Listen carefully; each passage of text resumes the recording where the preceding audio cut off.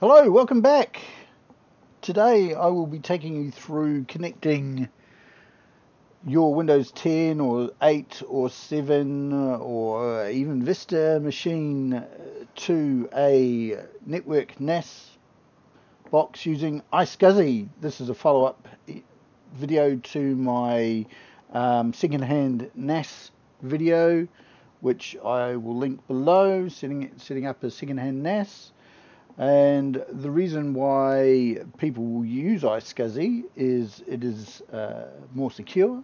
Technically, uh, the it's a bit faster, so it operates better, uh, and you have more control over it uh, from a computer level.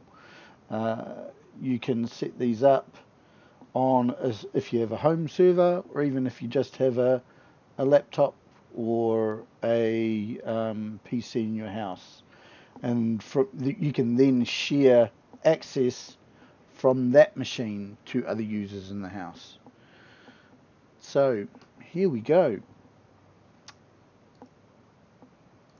So the first thing we need to do is connect up to the, the device. In this case, This is, a, as I said, Synology DS212J.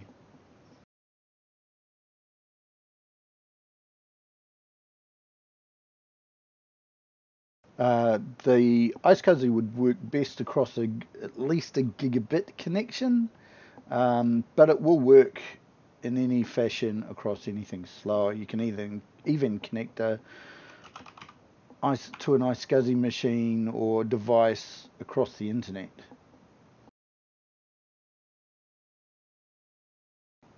So let's log into the disk station.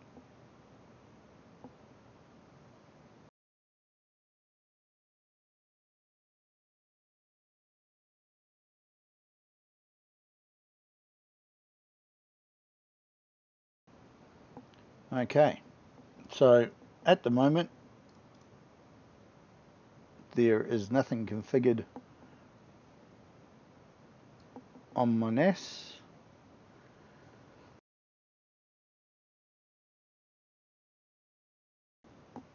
It has over 900 gigabytes of free space and I'll just be setting up one large um, pool for use Okay, so there are a couple of things you need to set up, but the Synology OS handles it quite nicely. So we get to the iSCSI manager, which can also be found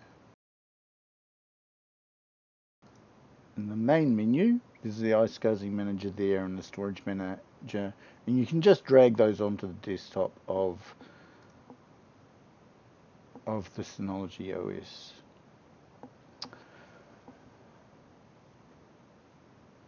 So at the moment there's nothing nothing set up. So the first thing you need to do is set up a target. The target is what you will point your computer to. Okay, so in this case it's set up a, a default target. You can technically call that anything you want, but I just leave it as it is. Enabling CHAP enables you to put a username and password to um, restrict people from connecting to the uh, iSCSI target. So I just called admin. You can try administrator. Accept on Synology boxes, you can't have anything less than um, more than 12 letters. So if we put, just take it back to admin. Uh, now, for the password, the password needs to be between 12 and 16 characters. So my one currently is 9. So I'll just add something onto the end.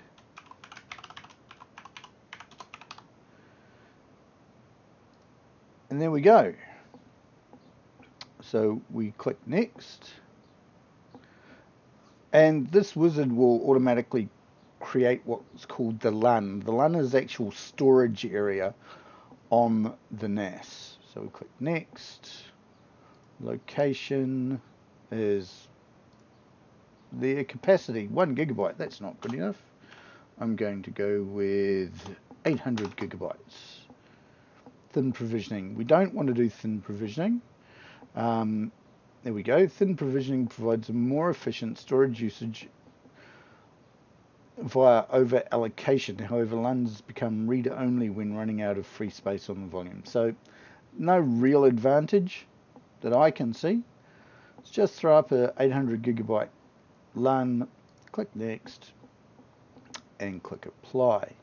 Now, we will need the IQN later or shortly, very shortly, and that the admin and the password because we'll need those things to connect. Actually, no, we won't need the IQN because Windows is generally intelligent enough where you throw the point point Windows 10 at the IP address and it will pick it up. So it's just creating that at the moment. Getting a, an alert because it's it's allocating all the space. So basically that space cannot be used for anything else like uh, an SMB share. So that's basically all you need to do within Disk Manager. So let's just minimize that. Go into now, click on the start button and then type in control. It's a little bit easier to do it this way. And go to control panel.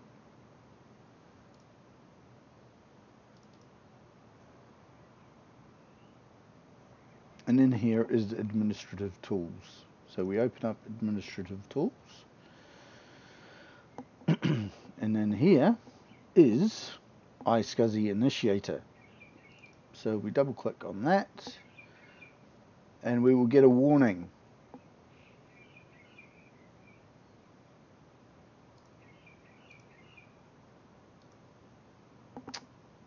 And that warning is Microsoft iSCSI service is not running. Not surprising if you've never used it before.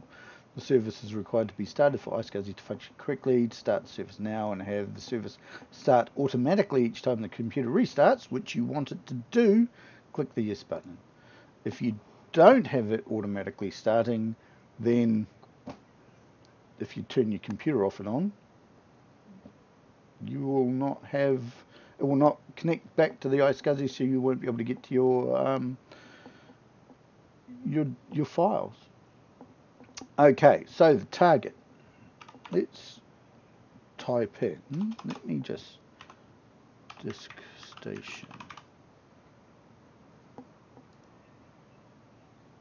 See, it's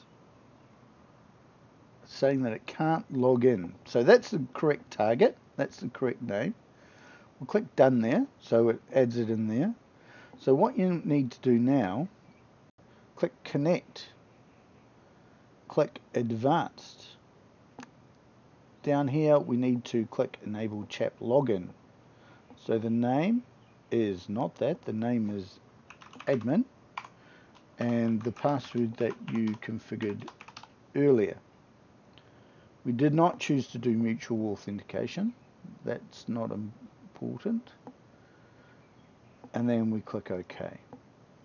And then we click OK and there it shows the iSCSI connected.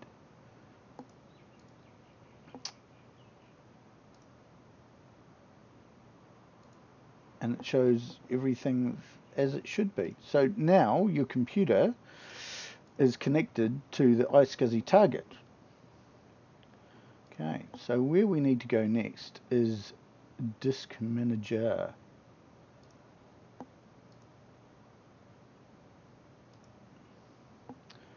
So right click on the on the disk on the menu. Go up to disk management and click on that. And it will tell you about needing to initialize a new disk.